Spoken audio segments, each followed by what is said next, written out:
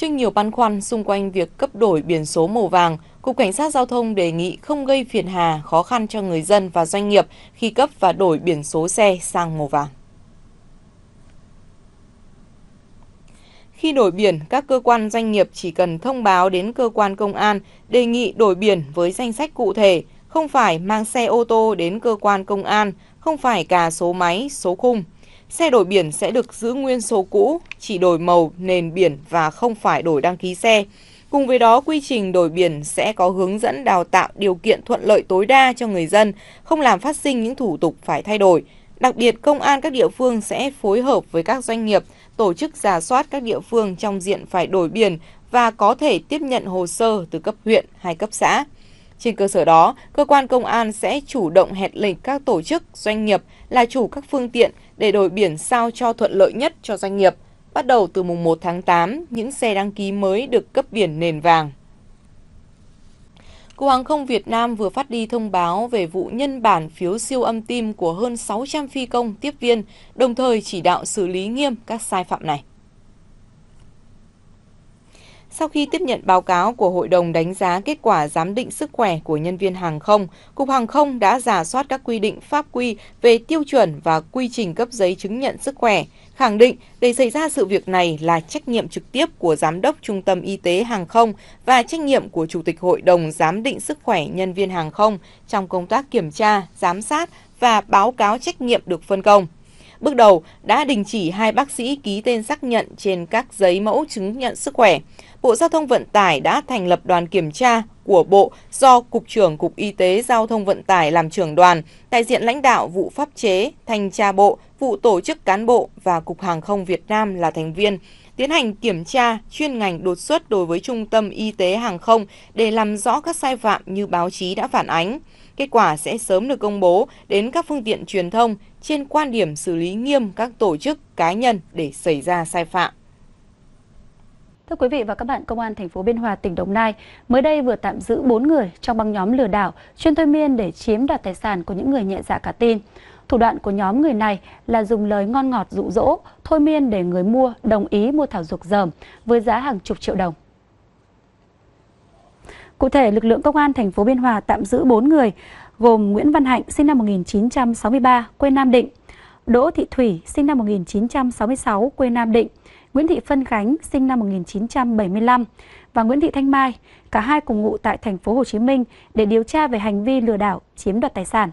Trước đó vào ngày 23 tháng 7, nhóm người trên đi xe máy tới khu chợ Thanh Hóa, khu phố 4, phường Trảng Dài, thành phố Biên Hòa, giới thiệu bán thảo dược quý cho người dân.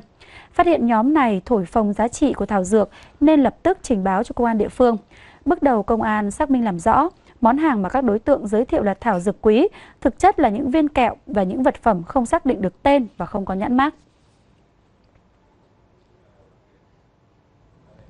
Và cũng cùng thời gian trên có 5 người khác ở thành phố Biên Hòa cũng tìm đến cơ quan công an chức năng để tố giác những người trong nhóm này và đã lừa đảo bán thảo dược với giá hàng chục triệu đồng cho họ. Vâng, theo các bị hại thì các đối tượng này đã dùng thuật thôi miên họ. Vì khi giao dịch mua hàng thì giá tiền rất nhỏ nhưng mà không hiểu sao khi mà họ thanh toán tiền thì họ lại phải bỏ ra một khoản tiền lên tới hàng chục triệu đồng mà không hề hay biết.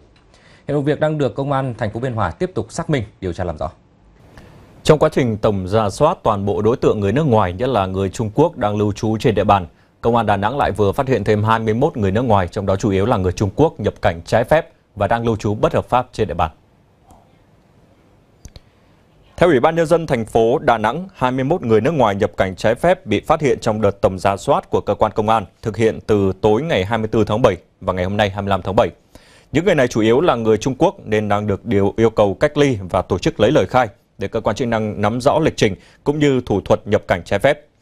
Trước đó, Công an thành phố Đà Nẵng đã phát hiện 31 người Trung Quốc nhập cảnh trái phép và lưu trú bất hợp pháp tại các khách sạn trên địa bàn. Công an đã khởi tố vụ án và khởi tố 3 bị can về hành vi tổ chức người tiếp tay cho việc đưa người nước ngoài nhập cảnh trái phép. Đây là nguy cơ lớn có thể khiến COVID-19 bùng phát trở lại. Do đó hiện tại Đà Nẵng và nhiều địa phương đang giả soát quyết liệt số lượng người nước ngoài đang lưu trú, không để trường hợp người Trung Quốc nào nhập cảnh trái phép đang lưu trú mà không bị phát hiện. Thưa quý vị và các bạn, theo quyền Bộ trưởng Bộ Y tế Nguyễn Thanh Long, ngành y tế đang tiếp tục lập danh sách những người tiếp xúc gần để lấy mẫu xét nghiệm và cách ly y tế. Cho tới thời điểm này, nhà chức trách xác định rằng 1.079 người đã tiếp xúc với bệnh nhân 416, trong đó tiếp xúc gần F1 là 288 người. Và ông Long cũng đề nghị lực lượng công an ra soát tình trạng người nhà nhập cảnh trái phép trên địa bàn Đà Nẵng, đặc biệt là ở khu vực ven biển. Địa phương thì cần hạn chế sự kiện đông người, giãn cách xã hội ở quận Ngũ Hành Sơn Liên Triều. Vâng, và hai ngày hôm qua thì à, đội công tác đặc biệt gồm các chuyên gia đầu ngành về dịch tễ học, phòng chống nhiễm khuẩn có kinh nghiệm được cử đến Đà Nẵng giúp khoanh vùng và xử lý ổ dịch. Đội chuyên gia về cấp cứu từ bệnh viện Trợ Rẫy thành phố Hồ Chí Minh cũng đã có mặt tại đây để phối hợp hội trần và tìm phương án điều trị cho bệnh nhân. Vâng và cũng xin được tiếp tục bản tin. Cho tới thời điểm này thì một câu hỏi đặt ra là bệnh nhân 416 ở Đà Nẵng không đi đâu xa, không tiếp xúc với nhóm người có nguy cơ lây nhiễm cao thì tại sao lại bị nhiễm bệnh? Và nguồn lây nhiễm bệnh của bệnh nhân này đang là câu hỏi được đặt ra với các cơ quan chức năng. Liệu rằng việc nhập cảnh trái phép tại Đà Nẵng có phải là một nguyên nhân hay không? Và sáng nay ngày 25 tháng 7 thì công an thành phố Đà Nẵng cho biết các lực lượng chức năng đã phát hiện hơn 30 người Trung Quốc nhập cảnh trái phép vào địa phương này. Theo điều tra ban đầu, những người này vào địa phương theo đường dây do công dân Việt Nam câu kết với các cá nhân của Trung Quốc tổ chức. Giám đốc Công an thành phố Đà Nẵng cho biết tại cuộc họp khẩn diễn ra ngày 24 tháng 7, cơ quan này đã chỉ đạo công an các địa phương bám sát địa bàn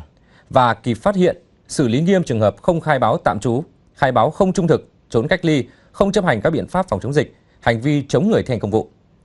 Người đứng đầu Công an thành phố Đà Nẵng cũng cho biết thêm, hiện số khách nước ngoài lưu trú tại Đà Nẵng tương đối đông, song có nhiều người không khai báo tạm trú theo quy định. Do đó, Công an Đà Nẵng đề nghị khách nước ngoài phải báo ngay cho cảnh sát khu vực để cơ quan chức năng kiểm tra và giám sát. Trước đó, tối 21 tháng 7, Công an Đà Nẵng đã khởi tố vụ án tổ chức cho người khác nhập cảnh vào Việt Nam trái phép theo Điều 348 Bộ Luật Hình sự. Kết luận cuộc họp Thường trực Chính phủ về phòng chống COVID-19 vào trưa ngày hôm nay, 25 tháng 7, Thủ tướng Nguyễn Xuân Phúc nhấn mạnh với các bệnh mới xuất hiện, các đơn vị đặc biệt là thành phố Đà Nẵng, ngành y tế phải bình tĩnh, kiên quyết xử lý nhất là khu vực bệnh nhân đã đến và sinh hoạt. Các đơn vị kiểm tra biên giới, cửa khẩu chặt chẽ để ngăn chặn nhập cảnh trái phép. Và Thủ tướng cũng yêu cầu rằng Bộ Công an khởi tố, điều tra, xử lý đường dây đưa người bất hợp pháp vào Việt Nam vừa bị phát hiện tại Đà Nẵng và Quảng Nam. Việc cách ly tập trung phải được thực hiện một cách nghiêm túc, tránh tình trạng cho về sớm như đã từng xảy ra. Vâng, và Bộ Thông tin Truyền thông, Bộ Y tế ứng dụng công nghệ để truy vết Trước hết đối với thành phố Đà Nẵng và xét nghiệm diện rộng. Bộ Y tế lấy mẫu xét nghiệm tất cả trường hợp có triệu chứng mắc đường hô hấp, nghi ngờ mắc bệnh để phát hiện nguồn lây. Bộ Công an ra soát người nhập cảnh trái phép trên cả nước, coi như là trường hợp nghi nhiễm để cách ly y tế. Và cũng một lần nữa, Thủ tướng Chính phủ Nguyễn Xuân Phúc cũng nhấn mạnh rằng chúng ta cần phải bình tĩnh nhưng mà cương quyết. Nếu mà không cương quyết, nhận thức không rõ ràng, quyết liệt thì sẽ có nguy cơ lây lan rộng trong cộng đồng. Và còn trao đổi với phóng viên trong buổi tối trong chiều nay, nhiều chuyên gia của Bộ Y tế đang công tác tại Đà Nẵng cũng cho biết nếu không cẩn trọng, có thể Việt Nam sẽ phải đối mặt với đợt dịch COVID-19 lần thứ hai, quyết liệt và cũng cam go không kém đợt trước. Vâng, tiếp nối thông tin à, ngay sau khi mà Đà Nẵng có cái thông tin trường hợp nghi nhiễm Covid-19 thì mạng xã hội đã xuất hiện rất nhiều thông tin du khách hủy tour, tìm cách rời khỏi Đà Nẵng khiến sân bay bị vỡ trận. Một số tài khoản đã đăng tải thông tin hình ảnh sân bay Đà Nẵng đặc kín là những hành khách. Thế nhưng mà hiện nay thì Hiệp hội Du lịch thành phố Đà Nẵng ngày hôm nay thì cũng đã bác bỏ thông tin này và cho biết rằng các hoạt động tour tại địa phương này vẫn diễn tiến bình thường và thành phố Đà Nẵng sẽ tăng cường kích hoạt tất cả các biện pháp phòng chống dịch COVID-19. Hiệp hội Du lịch thành phố Đà Nẵng cho biết hiện nay các cơ sở dịch vụ vẫn đang mở cửa hoàn toàn, hàng không vẫn tiếp tục thực hiện các chuyến bay. Sở Du lịch thành phố Đà Nẵng cũng cho biết không có chuyện du khách đổ dồn về sân bay Đà Nẵng để rời khỏi thành phố như một số tin đồn thất thiệt trên mạng xã hội. Sở này cũng đang đề nghị Công an thành phố Đà Nẵng phối hợp với Sở Thông tin và Truyền thông thành phố Đà Nẵng xử lý những người đưa tin sai sự thật gây hoang mang dư luận. Vì thế, những hành khách nào đã đăng ký tour rồi vẫn chưa có khuyến cáo phải hủy tour dài ngày thì vẫn triển khai cho khách đi lại bình thường tăng cường các giải pháp kiểm soát phòng chống dịch và chờ thông báo chính thức từ phía quản lý của nhà nước. Cơ quan này cũng khuyến cáo du khách cần bình tĩnh và theo dõi các hướng dẫn của cơ quan quản lý nhà nước, cơ quan y tế không quá hoang mang. Liên quan đến việc công ty Đại Lải Việt Nam có hành vi bạt đồi lấp hồ Đại Lải để làm biệt thự nghỉ dưỡng mà Nhật ký cuộc sống đã phản ánh trong các bản tin thời gian qua. Mới đây, Thủ tướng Chính phủ yêu cầu tỉnh Vĩnh Phúc kiểm tra xử lý nghiêm vấn đề này. Thủ tướng Chính phủ yêu cầu Ủy ban Nhân dân tỉnh Vĩnh Phúc kiểm tra thông tin doanh nghiệp bạt đồi lấp hồ Đại Lải, xử lý nghiêm các vi phạm theo đúng quy định của pháp luật. Trước đó, Tổng cục Thủy lợi kiểm tra và phát hiện 4 doanh nghiệp gồm công ty Đại Lải, công ty Nhật Hằng, công ty Tiến Đạt và công ty Hồng Hạc Đại Lải đã có hành vi lấn chiếm xả nước thải vào lòng hồ, vi phạm nghiêm trọng quy định của pháp luật về thủy lợi. Đáng nói trong số này, hành vi bạt đồi, san gạt, đổ đất vào lòng hồ để thực hiện dự án khu biệt thự nghỉ dưỡng của công ty Đại Lải Việt Nam được xác định là nghiêm trọng khi doanh nghiệp chưa có giấy phép xây dựng cũng như giấy phép hoạt động trong phạm vi bảo vệ công trình thủy lợi. Mặc dù đã yêu cầu tỉnh Vĩnh Phúc kiểm tra xử lý nhưng đã nhiều tháng trôi qua, Ủy ban nhân dân tỉnh Vĩnh Phúc vẫn chưa hoàn thành việc kiểm tra, khắc phục sai phạm, gửi báo cáo kết quả về Tổng cục Thủy lợi, Bộ Nông nghiệp và Phát triển nông thôn.